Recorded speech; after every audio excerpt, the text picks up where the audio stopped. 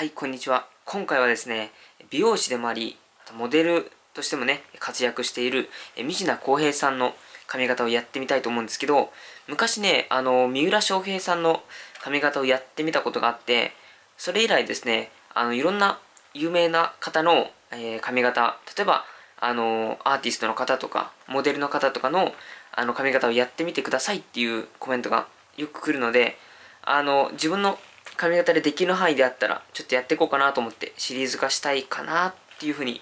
まあ、できたらいいなというふうに思ってるんで、えー、まあよろしくお願いします。では早速、えー、三品浩平さんことミッシーを目指して、えー、ね、ドライヤー作業からやっていきたいと思います。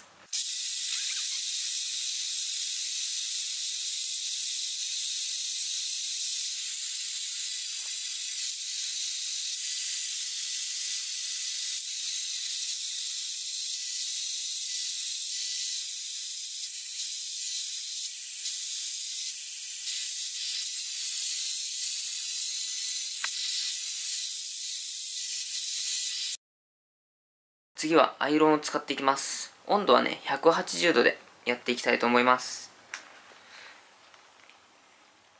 まずは襟足からやっていきます。内と外をミックスしていきます。ちょっとねあの見にくいかもしれないですけどこう、まあ、内と外をミックスしていってるっていうことが、えー、見えればいいですね。でこのフロント部分はですね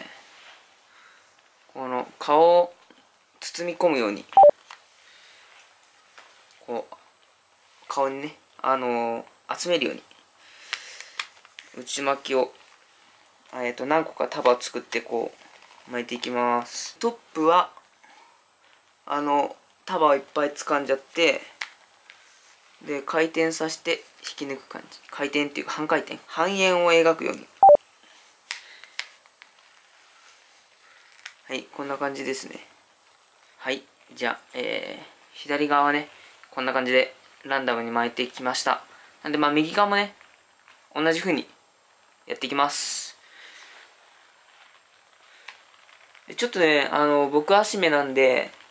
右の方が全体的に短くなってるんですけど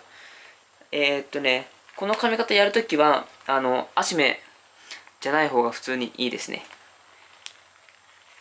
ちょっとね、あの、昔の動画を、昔っていうか、あの、他の動画を見ていただければわかるんですけど、自分でね、あの、何回か髪を切ったことあるんですけど、ついこの間ね、あの、自分で髪を切って、ちょっと失敗してしまったんで、あの、ね、ちょっとね、右側だけ短くなってるんですけど、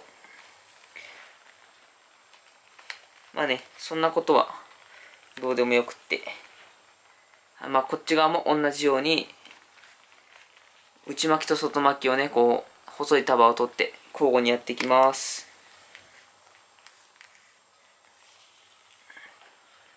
はい。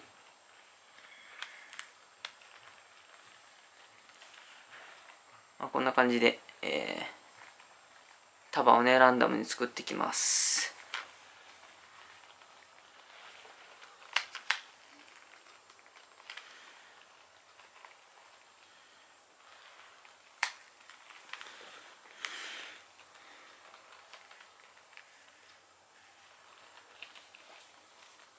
はいじゃあこんな感じでできたら次はバックをやっていくんですけどバックはね全部内巻きで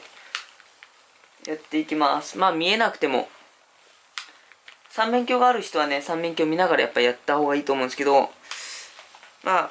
多分ねないっていう人も結構多いと思うのでそういう時はねあの感覚でもやっちゃって大丈夫です。